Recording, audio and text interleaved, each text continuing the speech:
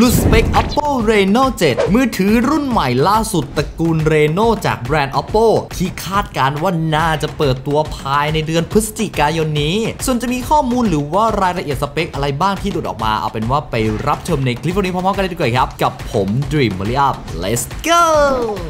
หลุดออกมาอีกแล้วนะครับ เปิดตัวไปไม่หยุดไม่หย่อนจริงๆนะครับสำหรับ Oppo Reno ล่าสุดนะครับ Oppo Reno 7 มาแล้วนะครับ ซึ่งเอาตรงๆนะครับผมรู้สึกว่าซีรีส์ Reno เนี่ยเขาอาจจะทำกันไวไปหรือเปล่านะครับ เพราะว่าก่อนหน้านี้เนี่ยโอ้โห Reno 5 มายังไม่ทันเท่าไหร่เลยนะครับ Reno 6 มาอีกแล้วเปิดตัวในไทย ยังไม่ทันได้ขายดิดขายดีอะไรเลยนะครับ Reno 7 มาใหม่อีกแล้วนะครับ ซึ่งคราวนี้นะครับจะเป็นแค่สเปคที่หลุดออกมานะครับจากแหล่งข่าวที่เชื่อถือได้นั่นเองดยตัว Oppo Reno 7 นะครับ คาดการว่าจะให้ขนาดหน้าจอมาอยู่ที่ 6.5 นิ้วนะครับ แล้วหน้าจอเนี่ย ก็จะเป็น OLED ความละเอียดเป็น Full HD Plus นะครับ ค่าลิเฟสเซตหน้าจอเนี่ย น่าจะให้มาอยู่ที่ 90 Hz นั่นเอง CPU ครับ ตัวนี้เนี่ย คาดการว่าน่าจะใช้เป็นตัวใหม่นะครับ จากค่าย MediaTek นั่นก็คือ MediaTek Dimensity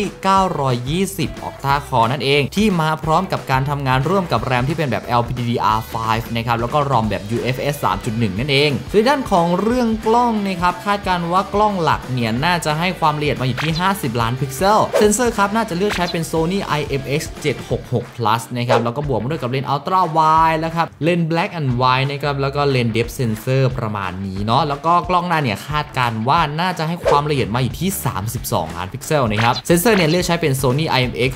615 เหมือนกันนะครับ ส่วนในด้านของแบตเตอรี่เนี่ยคาดการณ์ว่าจะให้ความจุมาอยู่ที่ 4,500 มิลลิแอมป์ครับ พร้อมกับชาร์จเร็วอีก 65 วัตต์ ซึ่งก็จะเป็น Super w o o f Fast Charge นะครับเวอร์ชัน2.0 จากทาง Oppo นั่นเอง โดยรวมๆนะครับสเปคประมาณนี้เนี่ยผมมองว่าถ้าเกิดว่าให้เทียบกับ Reno 6 เนี่ยอาจจะอัปเกรดอะไรมาไม่ได้เยอะแยะมากมายนะครับอาจจะเปลี่ยน CPU นะครับแล้วก็อัปเกรดหน้าจอซอฟต์แวร์อะไรต่างๆซึ่งตรงๆนะครับผมรู้สึกว่ามันมันอาจจะเร็วไปนิดนึง อาจจะรอทิ้งช่วงไปสักปีหน้าก็ได้นะครับต้นปีหน้าเปิดตัวก็ไม่สายนะ แต่ว่า Oppo นะครับเขาไม่รีรอนะครับ Oppo Reno 7 มาอีกแล้วนะครับ ส่วนในด้านของราคานั้นครับ อย่างที่บอกไปว่าสเปคนี้ครับเป็นเพียงสเปคที่หลุดออกมาจากแหล่งข่าวที่เชื่อถือได้ ในด้านของราคาเอ่ยหรือว่าอะไรเอ่ยเนี่ยก็ยังไม่มีหลุดออกมานั่นเองนะครับ ส่วนถ้าเกิดว่าจะให้ผมคาดการณ์นะครับ ราคาน่าจะอยู่ราวประมาณ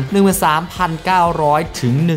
17,900 บาทประมาณนี้ ด้วยความที่น่าจะรองรับเครือข่าย 5G ด้วยนะครับสำหรับ CPU ตัวใหม่ตัวนี้นะครับยังไงเราก็ต้องมารอดูกันอีกครั้งหนึ่งนะครับซึ่งไม่ว่ายังไงครับ Oppo Reno 7 จะต้องเข้าไทยอย่างแน่นอนนะครับถ้าเกิดว่ามันเปิดตัวมายังไงนะครับเดี๋ยวทางเราจะทำคลิปสิ่งที่ควรรู้ก่อนซื้อให้ผู้ชมได้รับชมกันเลยนะครับและนี่เลยครับก็คือทั้งหมดของลูสเปค Oppo Reno 7 นะครับผู้ชมครับสามารถติดตามพวกเราได้ทุกๆช่องทางเลย ไม่ว่าจะเป็น YouTube Facebook Instagram Twitter TikTok หรือจะเป็นเว็บไซต์ sixsister.com ก็ได้เช่นเดียวกันนะครับคลิปวันนี้ก็น่าจะมีเพียงเท่านี้นะครับถ้าเกิดว่ามีข้อมูลอัปเดตยังไงเดี๋ยวผมจะให้ทีมงานทิ้งลิงก์ข้อมูลต่างๆไว้ใต้ description แล้วก็ใต้คอมเมนต์เลยนะครับสำหรับวันนี้ผม Dream m o l y Up ก็ต้องขอตัวลาไปก่อนครับ แล้วเจอกันทุกคน see you again ละกัน